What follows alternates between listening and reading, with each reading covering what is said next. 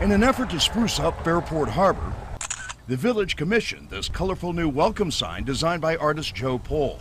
It's a beach town. It ought to look like a beach town. We ought to add color to it. So we were working with a lot of the business owners to add color to their storefronts. As people pull in here at the corner of High and Water Street, this is what you get. Graphic designer Derek O'Hara volunteered to paint a mural of the new welcome sign on the side of the village's popular High Water Tavern. I felt really let down. O'Hara's work came to a sudden stop in August when someone stole the ladder and scaffold he had borrowed for the project.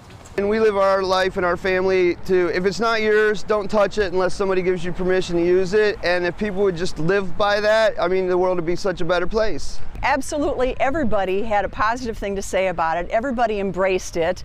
Um, this is an incredible small town. Uh, everybody is so committed. Uh, they're wonderful people. Uh, it's almost like something's been stolen from you. Transit. Transit, ain't old Transit.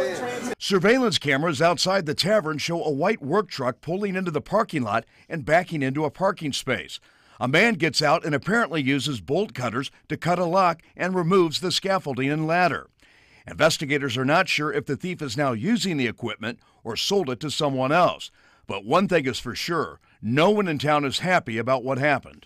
It was just unbelievable because I had to look through the tape and I kept looking at night, like two different nights.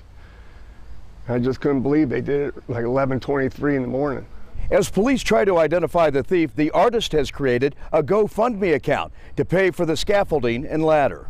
And the hope is that the welcome sign that was designed to usher in a new period of optimism in Fairport Harbor will be finished soon. The number of people that came by and said, hey, it was a great thing compared to one person that took something shows me that, you know, hey, there's still hope for society.